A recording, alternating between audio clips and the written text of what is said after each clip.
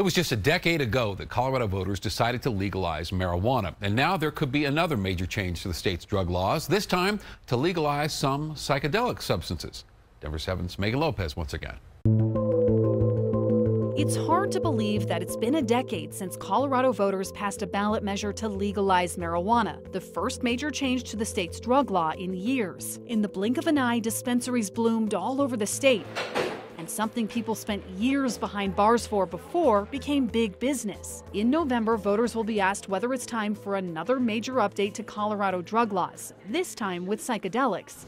Proposition 122 asks voters if they want to allow licensed healing centers to administer psychedelic mushrooms to people 21 and older. Cities and counties would not be allowed to ban them. It would also decriminalize the personal possession and cultivation of five substances psilocybin, psilocin, ibogaine, mescaline, and DMT. However, the measure doesn't allow for retail sales. Oregon passed a similar measure in 2020, and in 2019, voters in Denver decided to decriminalize psychedelics with Ordinance 301. In this Denver 7 Election 360, you'll hear from the group behind the ballot measure, an opponent, a patient, a professor who studied these drugs, and someone who helped push for the decriminalization effort in Denver. For supporters of Proposition 122, the Natural Medicine Health Act creates a tremendous opportunity for new modalities and healings.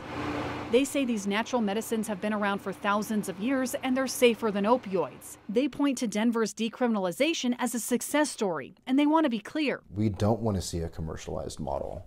Uh, we don't want to see recreational dispensaries for for these natural medicines. That's why the measure calls for licensed healing centers with an intake and a screening process and for Colorado's Department of Regulatory agencies to be involved. We need to be really careful with this. We want to have access programs. We want to make sure that these prices aren't getting so out of hand that it isn't equitable. They're asking people to vote yes for the sake of healing. It has done great good for many different people to be able to expand themselves, to learn, to grow, to self heal.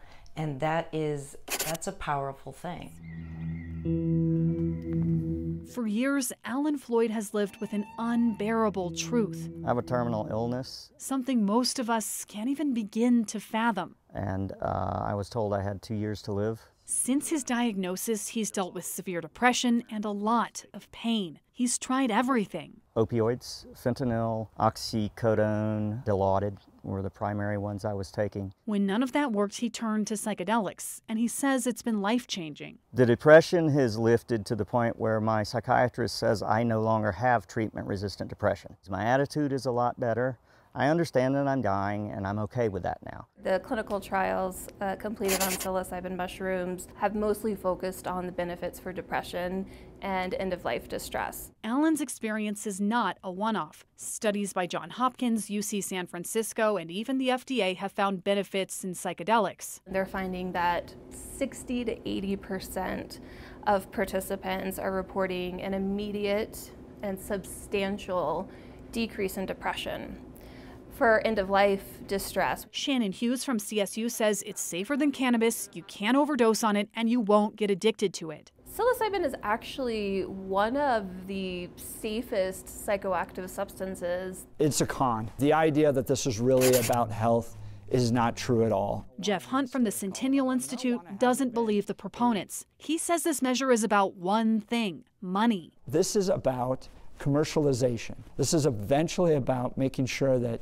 uh, these companies can uh, get these drugs out there, make as much money as they can. While supporters see Denver as an example, Hunt has a very different take. No one would be saying that we're doing very well in the city of Denver with our drug issues. He worries this is going the same way as marijuana and will eventually face the same problems. We still have a really big black market problem in the state. We need to be looking at ways to get people off drugs, not finding ways for people to take further drugs.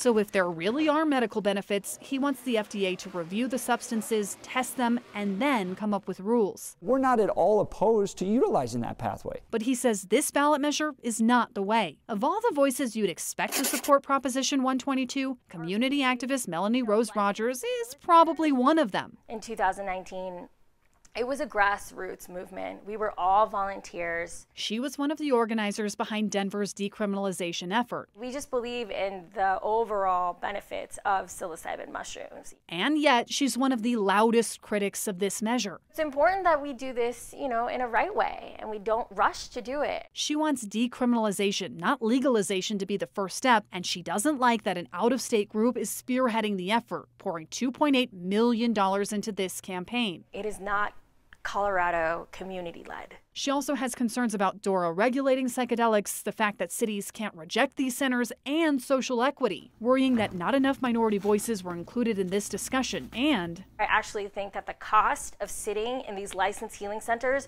are not going to be able to be affordable for everybody. So she wants people to think twice before saying yes. This year marks a decade since Colorado voters became the first state to legalize marijuana. This year, they'll be asked whether it's time to do the same for psychedelics and significantly rewrite the state's drug policies once again. Meghan Lopez, Denver 7. We've made it easy to keep track of the 2022 midterm elections. You can read up on all the ballot measures and all the candidates in our voters guide on denver7.com. Now, a special thank you to Meghan Lopez for all her hard work during this election season. And you can get election updates on November 8th right here on Denver 7. We will have live coverage throughout the night, tracking results as they come in. Thank you very much for watching.